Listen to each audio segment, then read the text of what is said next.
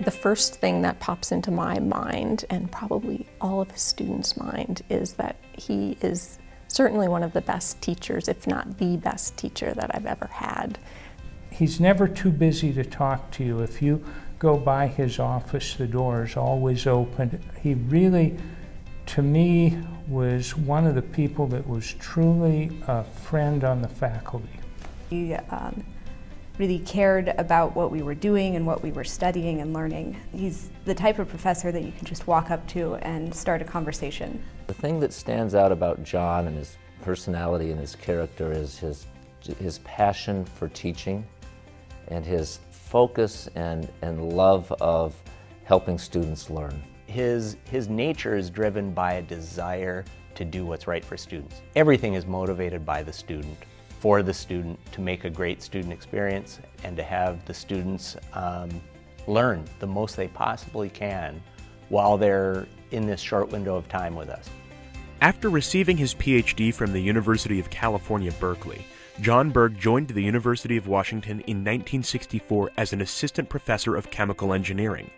John quickly built a reputation as an enthusiastic and devoted teacher and a leading edge researcher. John is known, you know, a, a across the nation and, and, internationally for the work he's done in surface and colloids. Most importantly, and what's most unique, I think, about John, is he takes that and he applies it to real world challenges and problems. The buzz about nanotechnology really is founded on work that people like John have been doing for decades. John's been here 50 years and he is one of the leaders in figuring out how molecules can connect to nanoscale objects and make the kinds of products that we come to think of uh, in cosmetics and paints and the sticky stuff in post-it pads.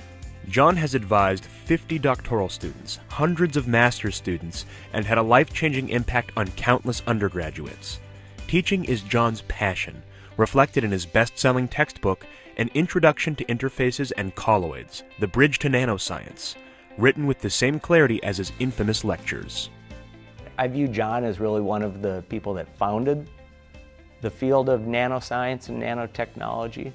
Uh, and this book is really embodying uh, those 50 years of work in that area.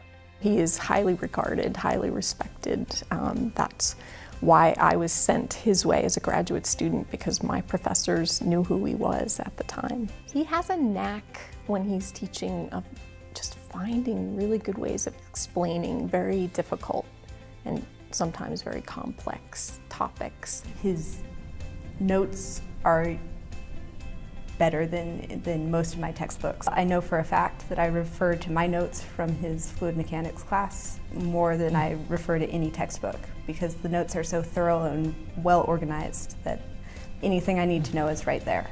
He's just absolutely a fabulous professor. He He's, he really cares intensely about his students. He cares about imparting his knowledge on uh, surface science and surfactants. For many UW chemical engineering graduates, their time in John's surface and colloids lab stands out as a unique and invaluable experience.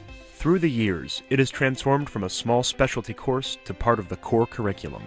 He's been an example of one of those kind of people that has completely integrated the research and scholarship his laboratory does with the, with the educational mission to educate undergraduates, graduates, and research students. It's one of those unique you know, classes, labs that uh, everyone just wanted to, to be a part of. But what also I still find, you know, 30 years later and through my whole professional career, what I learned in that class has just been fundamental and foundational for so many things that I do. John's dedication to his students extends well beyond the academic setting.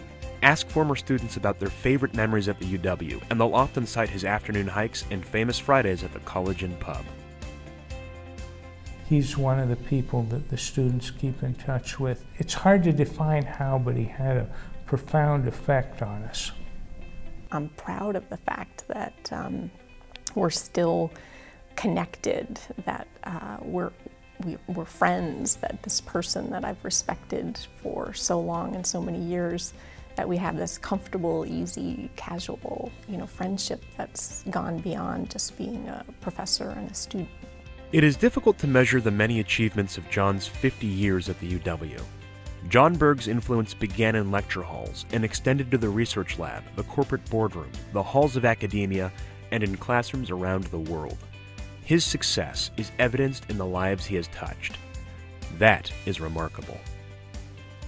You don't have that many chances to say how much you actually admire and aspired to be like a colleague. And John is one of those people where when you um, meet him as a young professor, you say, wow, look at the impact somebody can have by doing this kind of a job. The real lasting impact John's had on my career is he taught me how to think. I'm, even starting to go, boy, I'm starting to sound like John, you know, 31 years later. So he's had a huge impact on both helping me get a job, supporting me through my career, and really giving me the tools that have allowed me to be successful.